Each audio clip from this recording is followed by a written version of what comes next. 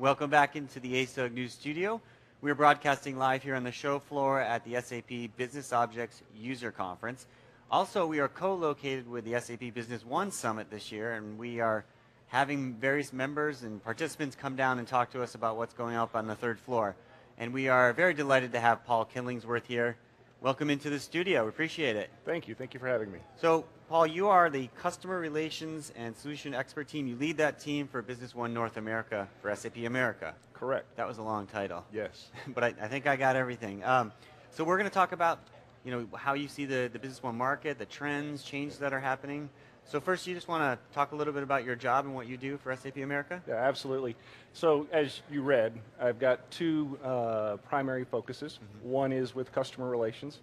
Anything that relates to customer issues that isn't handled through the usual channels, through the partner channel, uh, and a customer needs to speak directly with SAP, mm -hmm. uh, mm-hmm. that's what me and my team do. Mm -hmm. The other aspect is the solution expert team and it is exactly what you think it is, what mm -hmm. it mm-hmm. sounds like. Our team uh, is responsible for taking the product from development, rolling it out into the channel, uh, enabling partners, giving training, doing uh, uh, testing, and, and, that kind of thing for the partners. Great.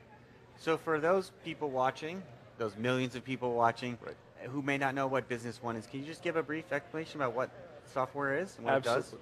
Uh, Business One is one of the SAP offerings for the small to medium-sized enterprise market.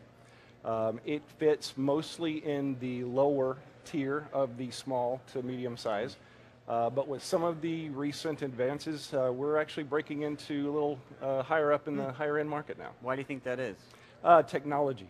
Technology improvements, not only in the hardware and infrastructure, but uh, with some of the innovations with cloud and HANA, it's mm kind of moving the ceiling up for us a little bit. Well, it's interesting. Cloud obviously is a great avenue for people to, to do more. Uh, HANA, that can be scary to some, I'm sure, B1 customers who have, uh, as you said, small organizations. You know, how do you think, and I know it's still a little early, but how do you think you, your SAP will be able to roll out HANA to the smaller customers? Like,